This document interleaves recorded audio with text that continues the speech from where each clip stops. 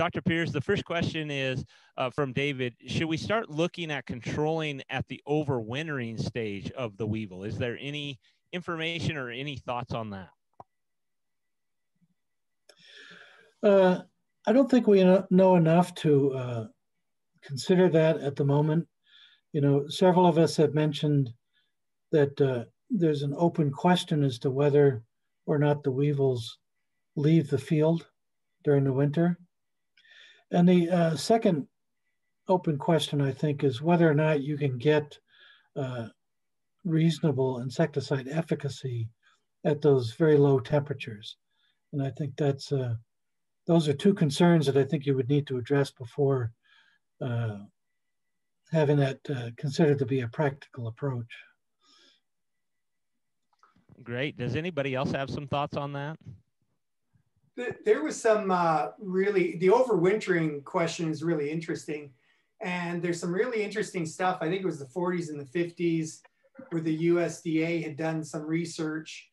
Um, and if I recall correctly from their reports, uh, there'd be a certain number that would leave the field, a certain number that would stay inside the field. So I'm pretty sure they're overwintering uh, in both areas, but I kind of wonder if it relates to how much residue and overwintering areas there are in an alfalfa field. You know, if the field's really clean, you've got the crown that's protected, but other than the crown. So yeah, I think that's a really interesting question. Great. Thank you, Dr. Warner. Uh, anybody else? Great. We have a, a, comment for you, Dr. Pierce. It comes from Scott Schell. He says, Congratulations on your retirement and thanks for the presentation. Okay, we got another question. We're going to jump back to, to Micah's presentation. There was a question Are ladybugs effective against weevils? And if so, how many uh, ladybugs is there a threshold that, that provides good control? That is a great question. Um, I don't know personally. Um, somebody else might know what the actual ladybug threshold is for that. Um, I do know though that lady beetles do prey or predate on alfalfa weevil larvae. I just don't know to what extent. So maybe somebody else might be able to answer that if they know. I'll just quickly say, I mean, I'm curious to see what uh, other people would add, but um, I know that there's been work done in Montana and Utah where they weren't able, you know, using exclosures and stuff to really detect a big contribution of lady beetles against um, alfalfa weevil compared to the parasitoids. Um, but, and then it seems like the lady beetles are probably more likely feeding on aphids or things that might be a little easier for them to, to get at. Um, but that said, you know, I think even though I think that lady beetles must eat some of those early instar larvae, I just don't think we know if that is a big enough contribution. So far, it doesn't seem like it's a big enough contribution compared to the wasps. Um, and so I don't think there are any thresholds in terms of weevils. I think it's more like they're probably eating more of the aphids. Um, and so that's kind of what I would say. But I don't know, but I think we've all spent so much time in the field. I remember for Judith's project, we'd be looking, you know, at the ground so carefully for those post-harvest or for those, you know, when we were collecting stuff, we wanted to make sure we pick everything up. And I definitely saw like an ant drag away a tiny, you know, an early instar weevil larvae, those small ones. And so I just watched it with my eyes. And so I do think those predators are doing something. It just might be hard for us to capture how big of a contribution it is. Anybody else have a, a thought or comment or observations they've seen? I have All a right. question for uh, Frank and Renda. So do you think with the early sprays that were effective, do you think they're, you know, with your weather, were you going from quite cool to quite warm? Do you think there was a synchronization of the adult movement into the field? Um, and I don't know a lot about persistence of pyrethroids, but I have always thought seven to 10 days of good persistence. Maybe there's some around longer, but you know, good lethal persistence might be seven to 10 days. I don't know if you have any thoughts on that. Frank, you want to go first because you've been looking at it longer than us. I'm probably a few years uh, data. But, but, I have to tell you that uh, you know these uh, that uh, that slide that I showed you summarizes some really pretty empirical data. I mean, it's just yeah. you know we arbitrarily picked a you know a treatment time and started spraying and it worked, and don't really know much more than that. As far as the residual effectiveness, I would expect it to be a little bit longer uh, in these early treatments just because of the lower temperatures. Oh, I see. Yeah.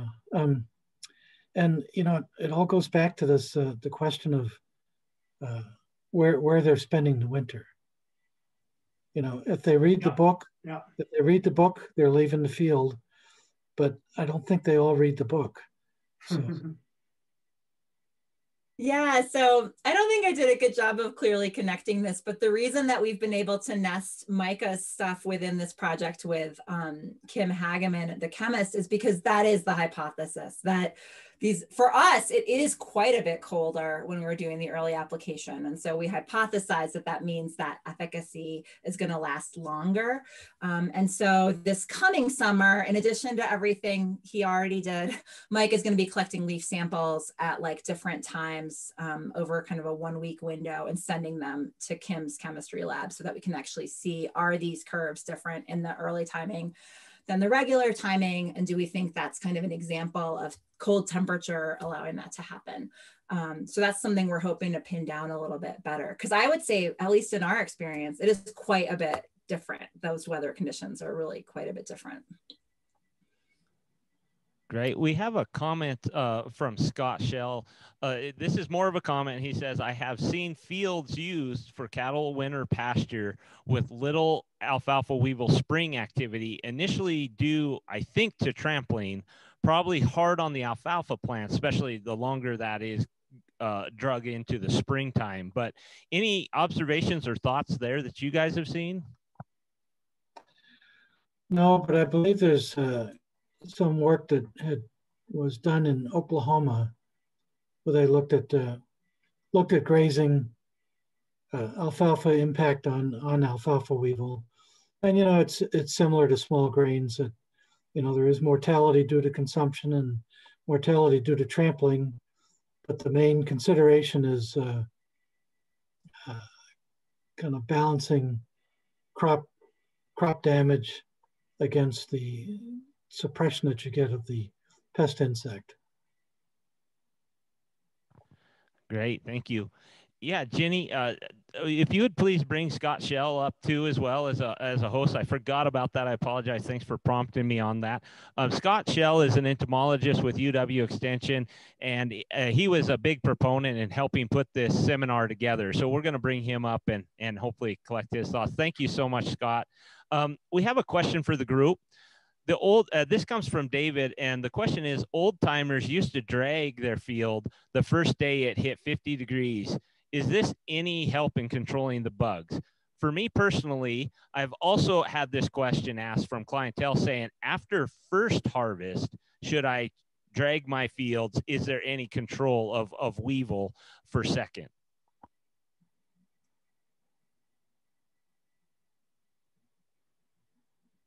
I think that one's wide open. So anybody that has thoughts on it, that's a hot potato, I guess. Yeah, I mean, I think I've also heard the same thing, like harrowing or dragging at different times and having like some dust come up and and that, you know, I think any of these physical more physical methods of of control i don't think we know as much about um, to be honest from a science perspective and so i think in general, like if people think that grazing is helping or that harrowing is helping, I think it depends a lot on the timing of when you're doing it. People have mentioned weather. I think it depends like, is it a hotter, drier time when maybe you're dusting these things up and they're like exposed? Um, so I think there's definitely potential for that to contribute, even though I don't think it's necessarily been explored by scientists in a lot of detail. I think just in general, these more physical methods um, we just haven't done as much on it. But I think there's a lot of room for that. I think I've heard that repeatedly from people. I think there's some, you know, there's probably something to it. You know, that's what I would say. Well, you know, and, and I think someone, one of the speakers earlier mentioned that, you know, when it comes to alfalfa weevil, it can be kind of complicated with their behavior, the different weather patterns, the different climates, the different regions. Um, and on the cultural, a lot of those cultural methods, yeah, I don't think we have enough information. We hear stories, but I have to relate this story that I heard from Alberta, where um, they developed resistance in seed alfalfa to pyrethroids. And I was talking to the fellow, and he said, Well, you know, they're trying all sorts of different cultural things. So burning, because I get this question a few times.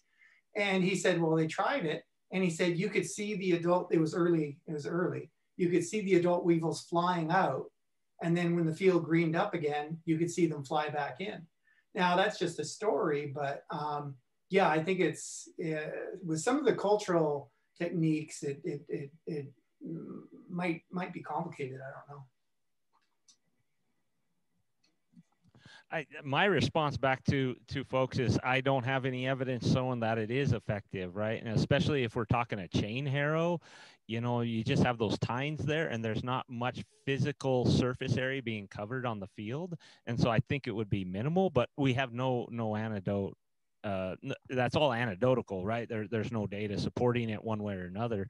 Uh, and I was thinking maybe a roller harrow. I, I know some roller harrow that feel instead of a chain drag, uh, but that would implement maybe possibly more crushing activity and you may see more uh, control if there was one but again that's all anecdotal there's no data supporting it so it, it is of question that's interesting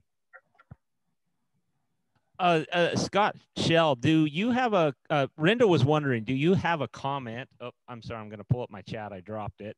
Uh, do you have a comment on the the question about blister beetles. Do you have any perspective on that question that was posed before? And if you need the question again, Scott, I can try and find it in the Q and A box. Yeah, if, if you could uh, uh, refresh my memory, because it, it, had something to do with the treatment and impact on blister beetle populations. Is that right? Right. Um, let me let me look here. So in, in general, the blister beetles are not attracted to the alfalfa field until you have bloom occurring, uh, which in many cases, you know, the, to harvest for high protein content, you avoid that. Uh, and, and in Wyoming, uh, just in general, uh, the most common blister beetle that we've had problems with is the black blister beetle, which population seems to peak later in the summer when you're kind of past the alfalfa weevil season. But uh, uh, you know, so it was kind of a comment. It says in growing alfalfa in both Colorado and Wyoming, I found that early harvest did little to control the entry of blister beetles, especially if the neighbor did not control. The application of insecticide allowed the control uh, the control of both the larval uh, blister beetle issue and the controlled beetle losses into the third cutting. Did you track blister beetle population was the original question. Thank you, Jenny. I was having a hard time finding it. Yeah, I guess uh, I'll, I'll let uh, other people with their observations too. But again, except for what from what I've seen, you know, the, the blister beetles are only uh, moving into the field. Uh, you know, they the species that are problematic in the genus Epicauta, uh, they swarm uh, on blooming plants and and one of the things about that would be, uh, you know, if your alfalfa is not blooming, then you probably are not going to have that issue during harvest. It's only when you allow it to go to full bloom uh, that that would be apparent. Is that what other folks see?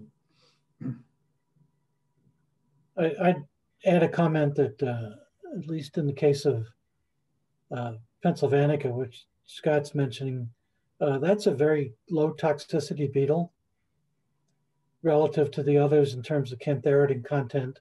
And also it uh, is not one of the uh, swarming species. So both of those factors really reduce the risk to horses and uh, hay contamination. So uh, at least here, the, the only one we really worry about is uh, Lemniscata you know, the striped blister beetle, because that is a swarmer and it's also very high in cantharidin content. But we don't see too much of that up here. It's more more of an Arkansas Valley issue. Yeah, we've uh, never had the striped blister beetle collected in Wyoming. Uh, uh, South Dakota is kind of the uh, apparently the northern limit, and of course, there's no geographic barrier from South Dakota to North Dakota into eastern Wyoming. But again, never had it uh, collected uh, or or any observations of it. so yeah, it's generally the two gray species or the black ones that we we'll see in uh, association with fields occasionally. And from what I'm hearing, Scott, um, usually our alfalfa weevil insecticide applications may not coincide with their presence in the field. And so, if we're making that application before bloom, before the attractant of those beetles coming in, we're not seeing an overlap. They're basically of our control method. Yeah, yeah, I don't, I don't think it uh, has any impact on them. It's very interesting. Uh, uh, Frank's observations on the pea aphids, uh, uh, you know, where it's a kind of a release from the predators caused by the pesticide application for alfalfa weevil, you know, non-target impact, releasing them. And, and I know uh, in there a, a, concern about a different pea or uh, different aphid in the Bighorn Basin, uh, but I, I I'm not an aphid person, so I didn't keep track of it very well. Yeah, uh, I I believe it, it was in alfalfa seed uh, fields, and I believe it was the spotted aphid. Uh, it was the concern there as well. So, yep. All right, guys. Uh, does anybody else have any last thoughts or anything that we didn't cover? I mean, man, we it seems like we did a good job covering the topic, but there's always more. But I don't see any other questions in the chat box or Q and A box. But any other last resounding thoughts or comments before we we close out the webinar? I I just I really appreciated it. Uh, all the presentations, it, it really helped bring it together. I was uh, taking pictures of the screen. I hope you don't mind because I can't remember or take notes as fast as, as some, but I really appreciate uh, the presentations and the information shared. It's such an important crop for Wyoming and the region, you know, and, and definitely the alfalfa weevils become more problematic. So again, thanks a lot to everybody that participated. Those are great comments, Scott. I feel the same way. Thank you so much for uh, one, our participants for joining us. Uh, again, like I said, this was kind of an experimental trial run. We're, we're kind of dabbling with this uh, hybrid model and that, and it, it, seems very successful. Very pleased with it. So, and thank you so much for the interaction. Not uh, not being hesitant to jump in there and ask us questions. That's why we're doing this is to help you and help everyone out out there. Um, and so with that. Uh, I just wanted to mention in terms of uh, Scott's uh, comments there, uh, we have recorded these. Hopefully it came through well. It just depends on how good we did. We're hoping to, to break this webinar up into the individual presentations and then we will post those recorded sessions back up uh, on a on a website uh, with UW. And so then I will be also sending those uh, a link to those recorded. It'll be on YouTube. So we'll send that out. We'll make it open to the public so people can search and find that on YouTube. Uh, but we're going to uh, get that back out there best you can. If you can't find it, I know how it is in the virtual world give me a call, shoot me an email. I will connect you physically with it uh, that way. But that's our, our hopes to get it to you. Again, please, uh, we're going to uh, be watching your emails. We'll be trying to email out an evaluation to everybody, and we'd really like to hear feedback from everyone. Uh, that's why we do this, and, and it helps getting that input and feedback from you to help us steer this. But with that, thank you so much you guys have a good rest of your day um, and, and, enjoy the rest of the week. And at least here in the Bighorn Basin, we're starting to warm up and hit the 40s and 50s. So it's looking like farming season already. So you guys take care. We'll talk to you soon.